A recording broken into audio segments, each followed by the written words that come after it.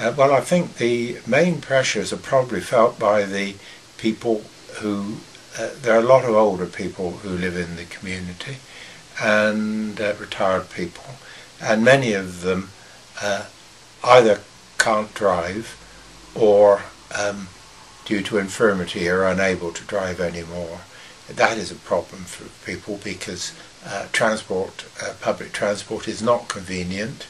Um, if you want to go shopping, you have to tie up half a day or something of that order in order to just do quite simple shopping. We do have a, an excellent um, corner store in the village next door, but getting to it is not straightforward. Uh, you can go by bus, but they are not uh, frequent, and uh, when you get there, you're sitting around for half an hour, probably waiting for the one to get back again. So that is one problem.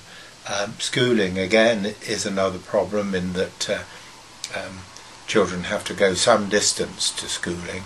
There is no school in the village, and although there are school buses and the local schools are very good, um, this obviously uh, makes life a little bit uh, harder.